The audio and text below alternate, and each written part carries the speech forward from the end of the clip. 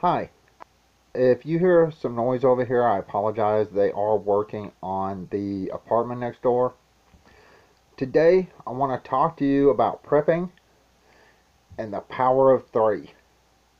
Now, I say the power of three. You can say whatever you want. Excuse me. The reason I say the power of three is because you always have to give yourself options. And I'm going to discuss what I consider the power of three, and you can agree or disagree with me, and you can uh, switch things out however you see fit. But the power of three, to me, it's what you need to survive, to have a life, a better life if something really bad happens. Um, we all see gas prices. We see electricity prices skyrocketing. That's going to affect a lot of people. And a lot of people are, are not going to be able to afford rent because of what's going on. Unfortunately, a lot of people are going to end up homeless. That's the bad thing about this economy right now. And this is not Russia's fault. This is Joe Biden's fault. This is the Democrats' fault. okay, let me talk about the power of three. To me, the power of three means trying to consider every circumstance or situation you may find yourself in and trying to prepare for it. Now, I'm going to talk about this. I'm going to go through a little list I made, and you may agree or disagree. It, that's your your option. You can disagree if you like. I'm going to go through some things. We're going to start with food. All right.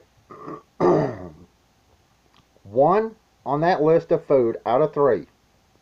Buy. You're going, okay, it's, it's buy. I go to my grocery store, I buy things. I can order things online, I buy things. Absolutely correct, you can. Now, a lot of people that have um, dehydrators and even freeze dry machines, the freeze dryers, buy their stuff from a store. So they're still purchasing that item, even if they're going to dehydrate or freeze dry it. They're still buying it. Most people that do that go to a store and buy their items. That's one. Buy. you can buy canned goods, box dinners. You can buy freeze dried foods, dehydrated foods. You can buy it offline. You can buy it at a store. Okay?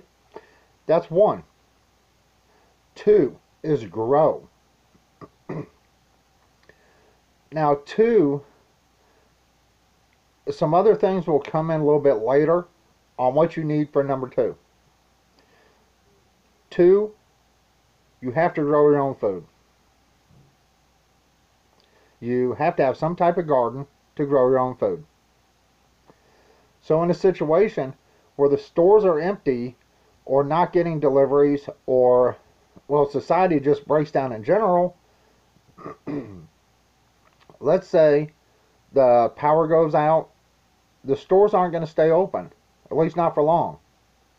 Anything in the stores is going to be either gone by them selling it or it's going to spoil. So in a really bad situation you have to have a way to grow your own food. Three, hunt or collect your own food. Now, hunt or collect means hunting, fishing, uh, scavenging. Um, if you know where some fruit trees are, you could get some fruit.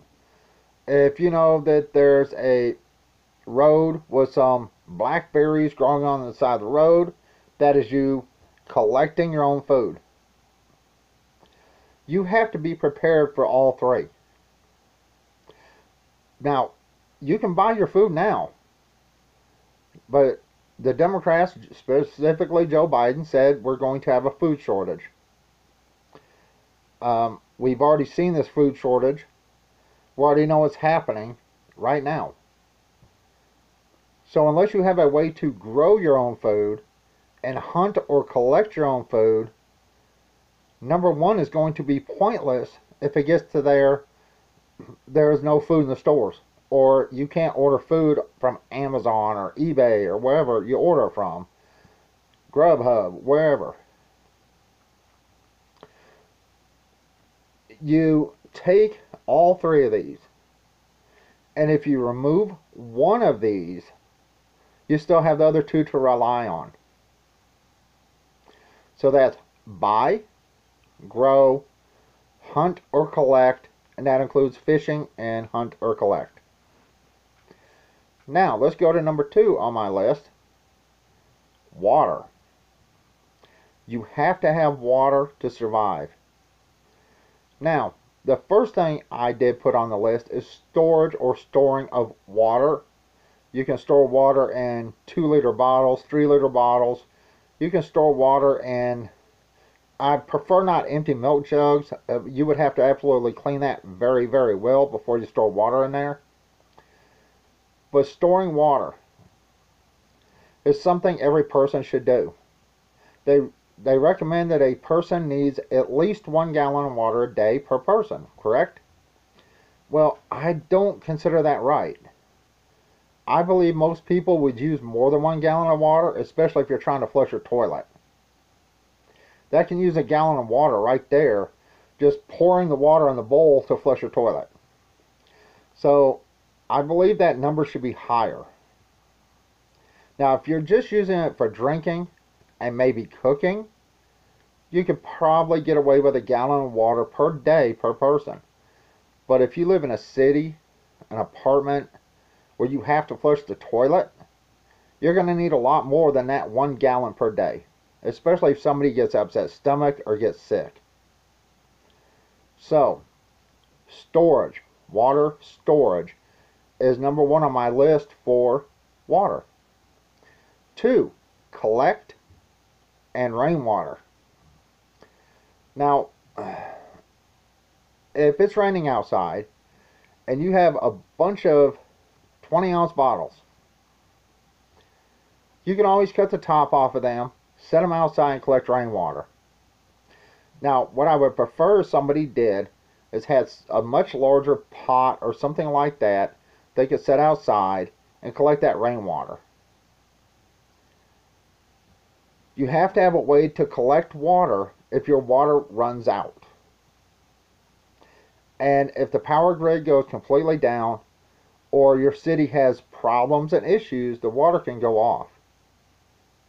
So you have to have that water. Storage is number one on my list for water. Collect rainwater or collect water is number two. That doesn't it doesn't matter if you're going to a river, a lake, a pond. As long as that water is good, you can drink it. Now I would out of a river or pond or lake, I would definitely go with number three, which is filter and purify. You can go outside after rain and scoop water out of a mud puddle as long as there's no oil or anything else in there. And you can clean and purify that water. Basically filter it and purify it. Now the water is going to be have a brown hue to it, even if you do this. But it will be safe to drink. So number three on that list is 100% filter and purify. That is your water situation. Storage, collection, and filter and purify all three of those you definitely need. Alright, let's go into the next on my list, which is shelter. Now this is debatable for some people. You do not have to have all three on that list, on this list. In fact, I don't have some things on this list for a reason. But for your average person, you need three types of shelter. And I'm going to tell you why. One would be a hard shelter like a house, an apartment, something like that. Now, I do consider the camper trailer um, as a hard shelter, but you don't have to have a camper trailer. Two on my list is a drivable shelter such as a car, van, motorhome, Um, if you have a way to move a camper trailer, you know, a truck, you can consider that a drivable shelter. If you don't, then it's a hard shelter, stay in place hard shelter. Now, you don't have to have a car, truck, you don't even have to have a camper trailer or a hard shelter. This is for people that have the vehicles that if they have to leave their home, they can they can actually stay in their vehicle.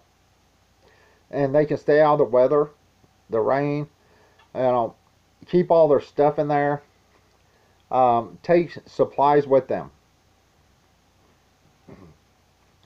Number three on shelter is some type of tent or tarp. Now, I advise everyone have this, whether you have a vehicle or not, and whether you have a hard shelter or not, such as a camper trailer or a truck camper or whatever, or a van. If you don't have a vehicle, I recommend this type. Now, this is just to keep you out of the elements the rain, wind, snow. Now, this will not keep you alive during a minus 30 degree snowstorm, but it will keep most of the elements off you, such as wind, rain, even light snow. Now, I say a tent or a tarp. Well, if you can't afford either one of those, you can go to a dollar store, buy two shower curtains and some paracord, and you can put your paracord across two trees, or you know, you can take a shower curtain and tack it up on the side of a house or something like that, and angle it out, and then put another shower curtain going down, and overlap the top one, overlap it to the bottom one. That will keep you out of the elements. That'll keep rain and stuff off of you. For basically $3, you can create some type of shelter to keep you out of the elements. Alright, next, tools. Now, I recommend everybody has some of these tools. Now, number one on that list, of course, is a shovel. Number two, an axe or a machete.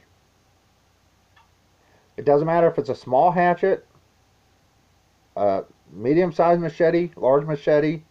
Doesn't matter if it's a big axe, small hatchet, either a either or or both, you know, an axe or a machete.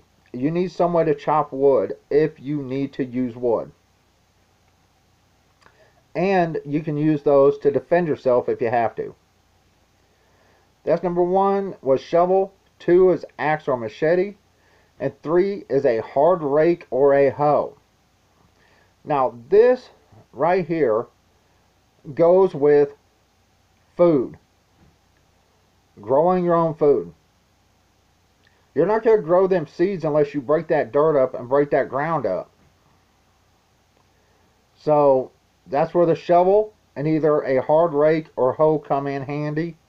So you can actually make rows for your garden, dig for your garden, break up the soil for your garden so you can grow your garden. That's just my opinion. Now, I do not have a hoe. We do have a shovel. We do have a hard rake. But we also have our electric tiller that I can run. Alright, next is fire. This one's easy. Three different ways to make fire. A lighter or lighters, a pack of lighters, Bic, the cheap ones, whatever, some matches, doesn't matter if it's on the box, in the little booklets. Matches are number two, lighters number one. Number three, some type of ferro rod or fire starter. Now the reason I'm saying this is because you can get a small ferro rod fairly cheap for a few dollars and if your lighters go bad or get wet they're gone your matches get wet they light and they burn down before you get your fire going you'll go through them quickly so you need something that even if you get it wet, it's going to work. And you don't have to worry about it running out of fluid or, or things like that. I recommend all three of those. All right, let's go to the next one, which is light. You absolutely have to have light in a situation. Um, you have to have light for security. You have to have light to find your way around your home or if you are somewhere else. You have to have light. And a lot of people are, well, I have my cell phone. Your cell phone is going to go dead in a situation. One on my list is candles. Of course, it's always a good idea to have candles. Two is some type of lamp oil or kerosene lamp that uses some type of liquid. And three is solar or battery lights. Now, three can also include hand crank lights. Now, once again, you do not have to have all of these as far as I would have candles and I would have some type of solar lights or battery lights. But remember, your batteries go dead, they're worthless. If there's no sun, you can't charge your solar lights. Hence, the oil lantern if you can afford one. If you can't, buy extra batteries for your lights and extra candles. Let's go to the next one. Kitchen tools. Now this is something a lot of people don't think about if they're having to leave their home or something really bad happens. You have to have a way, one, to cook, hence the fire. Um, kitchen tools pots and pans. Now, think about this. The cheap, generic, crap, um, non-stick pans are not supposed to be used on high heat, ever. That non-stick comes off and it is very toxic. Do not ever use a non-stick pan in an open fire or where there's extremely high heat. But pots and pans, even if you only have one pan that's like pure aluminum or copper or something like that, as long as, or cast iron, even better. If you can afford cast iron or fine cast iron, that'd be perfect. That can go into extreme heat or straight into fire. But pots and pans, one, that's on kitchen tools. Two, plates, bowls, and silverware. And you're going, well, wait a minute, you've got three things there. Yeah, but that's common sense if you have plates and let's say you have something that needs a bowl like soup, you can't eat it unless you have spoons or a bowl. So that's a given. That's basic common sense. Number three, I recommend two different types of can openers. And you're going you're going why? All right first of all i recommend the type that you just push into the lid for an emergency can opener. And you're going okay any other type of can opener? Any regular turn can opener will do. And you're going why are you worried about that i'll go on midnight if you're by yourself say you're out scavenging for food and because you're starting to run low, a single person can take the pop type can opener with them. Everyone else can use the other can opener. And if you're using the pop type can opener that punches down in, that leaves really sharp edges. If you're using the turn type, then you can use those cans for things like cooking or drinking out of. That's why I recommend two different types of can openers. And you can get those little punch type can openers very cheap. Alright, let's go with cooking. Once again, three. Campfire. Yeah. Midnight fire. A campfire is one type of cooking. That includes an open pit, uh, having a fire inside some bricks, any type of campfire. Now remember, you have to have, eh, sorry, midnight fur in my nose. Ugh. Really? Any type of fire outside is a campfire. Number two, a barbecue pit or a wood stove. Now, I'm not suggesting you run out and buy a large cast iron or steel wood stove. For emergencies, I have shown a small put together wood stove, basically that's about this tall, and you feed small pieces of wood in the side of it, and the flames come out the top. Now, something like that would be perfect if you don't want a huge campfire producing a lot of smoke, a lot of light. Or you can use a barbecue pit to cook with. Of course, you would have to use wood, hence, you need the axe or the machete. A lot of these are interchangeable, as you can see. Three, on cooking. Now, this is something a lot of people are going to uh, not agree with. Propane RV stove or some type of fuel camp stove with you put the, the fuel in it in the in the container, the cylinder, or butane or propane single burner cook stoves or camp stoves. Now you're going you didn't bring up natural gas. Now, if you already have a propane stove at your house, of course you don't need anything else unless you have to leave your home. But it's a good idea to have something else in case you have to leave your home. I didn't bring up natural gas for a reason. Natural gas lines can be disrupted.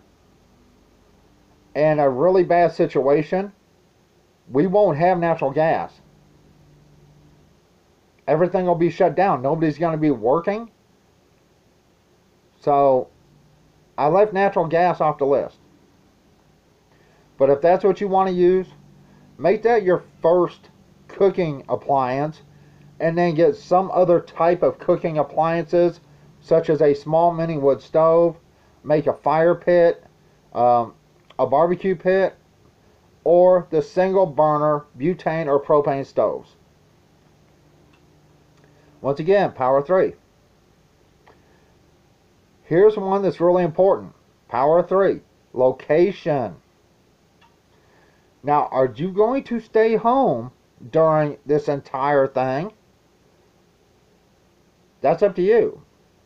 But what happens if you get chased out of your home or if there's a fire coming where you have to vacate? Or a group of people are going door to door, you know, stealing food and supplies? Location is important. Most people will try to weather it out at home. But do you have a plan if you can't stay at home? One, of course, stay home. Two, under location is a friend or relative's home, their house. So if you have a friend or relative that has a larger home and you talk to them and say, hey, if something bad happens, can I come to your house? And then I can help you secure your home as long as I'm there. Most people agree to that.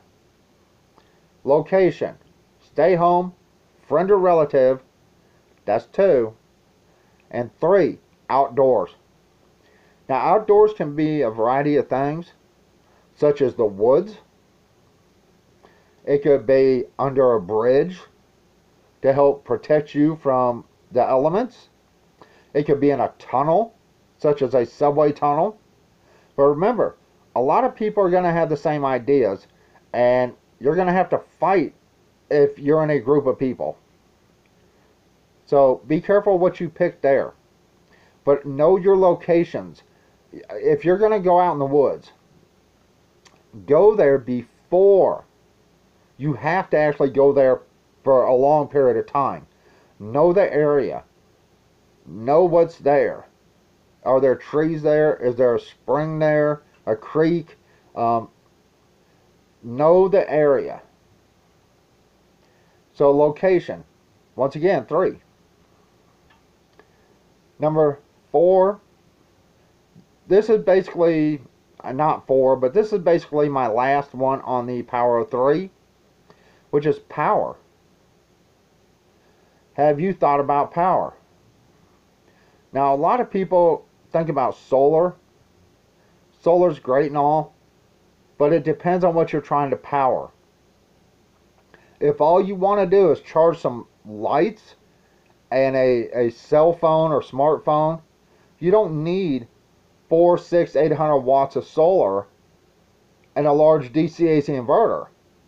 What you need is a small, cheap, 12 volt, 5 amp, whatever it is, even a 3 amp um, solar solar panel.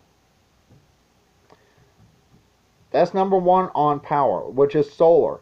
That varies and depends on your situation and circumstance and what you're trying to power. Now remember, if you have a $2,000 or uh, not dollars, but uh, excuse me, 2,000 watts of solar that's hardwired onto your house or into the power lines, you're not going to be able to take that with you. But if all you're trying to do is power, get enough power to charge your phone, to see if you can hear uh, emergency broadcasts or things like that, a small solar panel, a cheap small solar panel, will be perfect for you. Number two on the list gas or propane generators. And you're going, wait, you left off the battery generators or solar generators. Yes, I did. Because unless you have solar panels, you just bought a very expensive giant paperweight. Now I'm talking about not seven, eight hundred dollar generators here. I'm talking about something just large enough to maybe run your fridge and maybe a single light. You don't have to go overboard. But remember, generators are loud which means people will know you are there and they know you have that. Whether it's gas or propane, and propane generators are less efficient than gas generators. So, one is solar, two is gas or propane generator, and it doesn't matter if it's a $99 generator if all you're running is small stuff. Three. Once again, the power of three hand crank, bike charge generator, a bike generator. Now, this is for pretty much small items. And some things can be more than one on this list. Hand crank. This also has a USB out for charging things. It also has solar. It also has a radio. So you can listen to see, you know, information. Are these junk? Absolutely. I mean, turning this hand crank is only going to get you about two minutes of phone power, but it's something.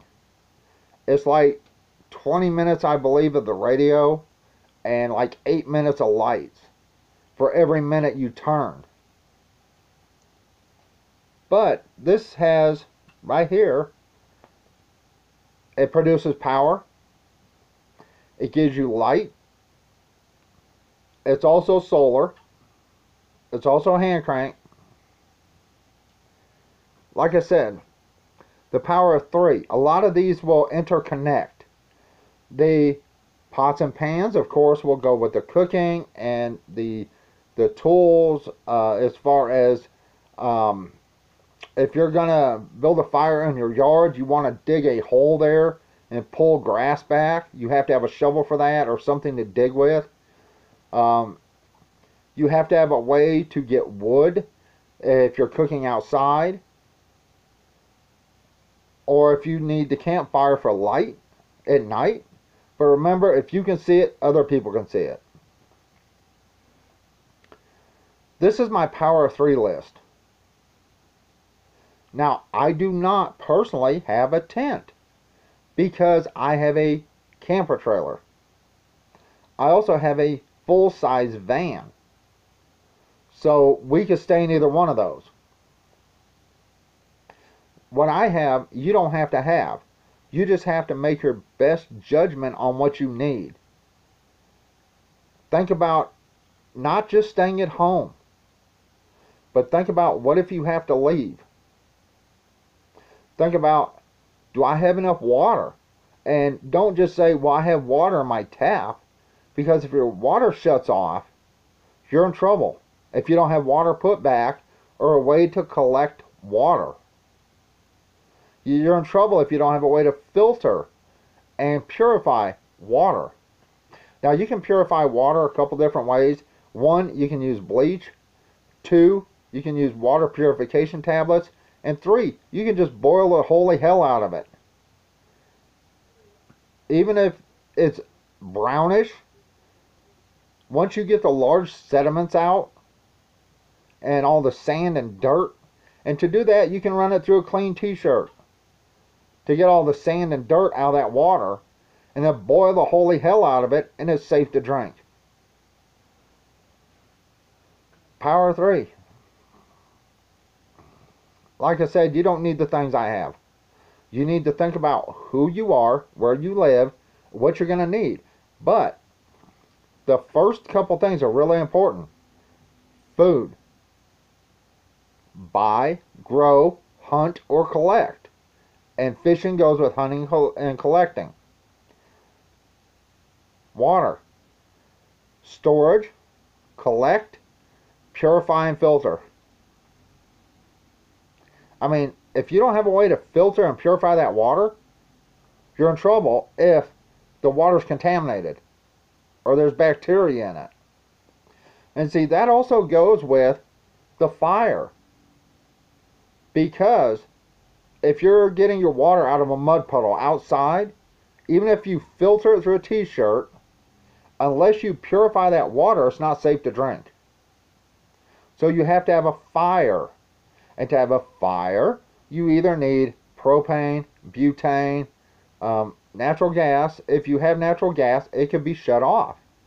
But propane, butane, firewood. And to get firewood, you need a machete, or a hatchet, a hatchet or an axe. A lot of these are interchangeable that you have to have to get all these. Now the ones that you don't have to have is a vehicle. If you own your own property and you own your own house, you're not worried about that. You're going to stay home and fight. But if you're renting and your landlord kicks you out, or if a mob is coming towards your home, you're going to vacate. You have to have something to stay in or stay under. Hence, either the tent or the tarps. That includes dollar store shower curtains and just some paracord to put across here and then put a shower curtain over it, down a little bit, tie those down, put some rocks on the other end, and then go up with the other one over here, go down a little bit, and then tie it down. That's all you have to do to get some type of shelter. You know, like I said, this is my list. This is the power three. Everything from location to power to cooking to tools you will need to food and water. All right, I'm fixing to go. Um, as you can see, we do have another ice maker back here. That's actually how much my girlfriend really loves this bullet ice. I could not keep up with her uh, ice usage, so we actually had to buy another one. And well, what can you do? Anyway, like I said, um, as far as power, you know, that's up to you. If you don't need power, that's something you can take off this list. If you don't need to charge or, or run your fridge, and all you need is something to charge your phone, you can watch stuff on your phone. You can listen to music on your phone. So if all you need is something like that, you can get a small solar panel, a cheap one, and charge your phone with. Um, you have to use common sense, use your best judgment.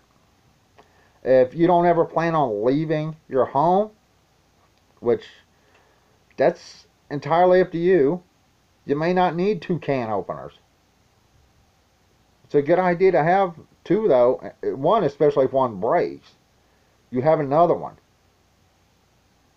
Two, if you have to split up and you have some canned goods and you're splitting those so one person can go here look for supplies and somebody else is going here, you both need a can opener because you're both going to have food. Alright, that's it. I'm fixing to go.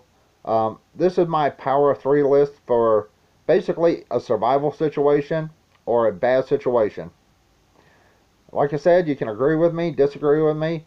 You can make your own list. That's what I advise people to do. Make your own list. Think about your situation, your circumstances, where you live, where you will go. That is important. If something bad happens, are you staying home and just trying to stay there and survive? Or will you leave and go somewhere else? That is something you must think about. All right, I'm fixing to go.